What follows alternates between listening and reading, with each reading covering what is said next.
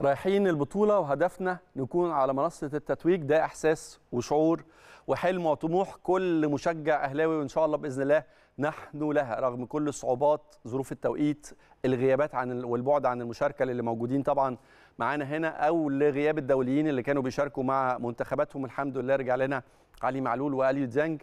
وفي انتظار إن شاء الله بقيه لاعبتنا تلحق بينا بعد تتويج مصر بإذن الله إن شاء الله ببطولة أمم أفريقيا. لاعبتنا ترجع لنا مرة ثانية ويكملوا معانا مشوار التتويج في المراحل المتقدمة. بس الأهم طبعا هو التركيز على المواجهة الأولى مفتاح البطولة مونتري المكسيكي وهو منافس ليس بالصعب على الإطلاق وليس بالسهل في نفس الوقت.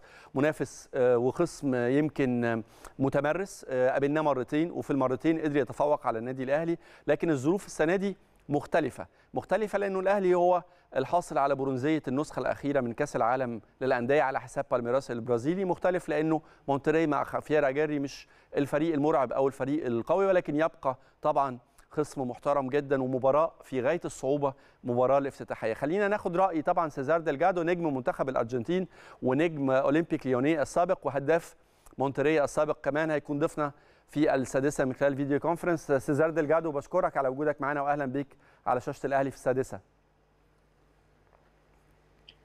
Hola, muy buenas tardes a todos. شكرا آه، جزيلا ومساء الخير عليكم جميعا. قبل ما اتكلم في الفنيات واسمع منك رؤيتك لل... للمواجهة المنتظرة بين الأهلي وبين مونتري المكسيكي. خليني أسألك الأول عن توقيت البطولة وإزاي بتشوف الصعوبة اللي بتنطبق الحقيقة على فرقتين مش بس على النادي الأهلي لكن كمان بتنطبق على آه، نادي مونتري المكسيكي. غيابات كتيرة بسبب انضمام لاعبين دوليين لمنتخباتهم. إزاي بتشوف اختيار التوقيت ده لإقامة البطولة.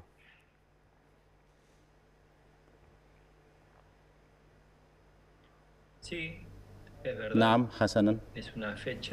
أعتقد أن ال- الميعاد توقيت ال- البطولة صعب بسبب الالتزامات عند ال- الف- الفريق.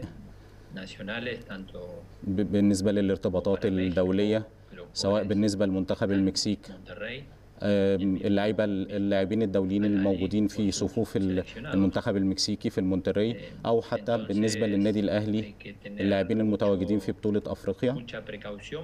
para ese ولذلك هناك.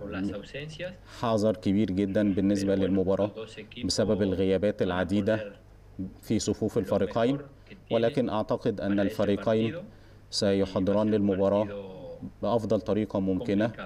partido لأنها مباراة صعبة بالنسبة للفريقين ولكن دون شك ولكن طبعا دون شك بالنسبة.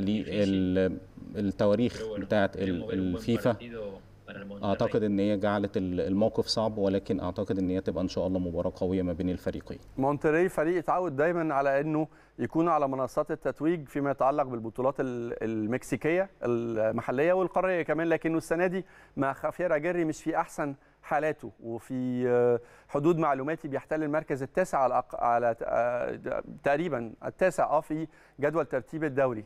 بتشوف إيه سبب التراجع ده وتقييمك لمستوى مونتري مع آه، تحت قيادة خافير أجيري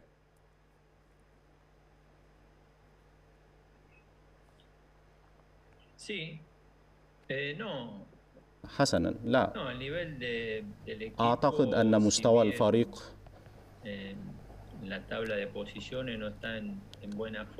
أعتقد أن هو حتى وإن كان في وضع متأخر في جدول الترتيب ولكنه في فورمة كوي في فورمة جيدة.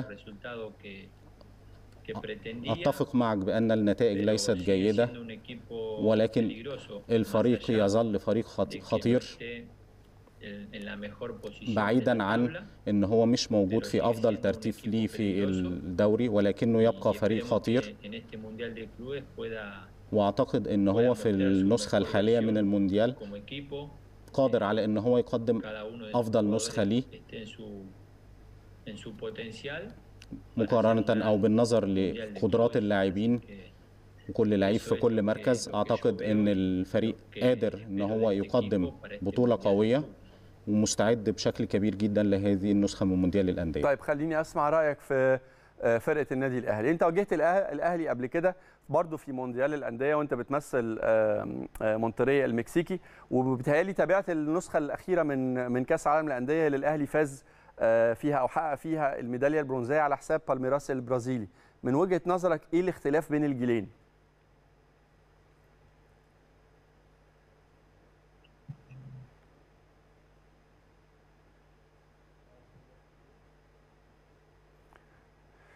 señor ديلجادو. أعيد السؤال تاني.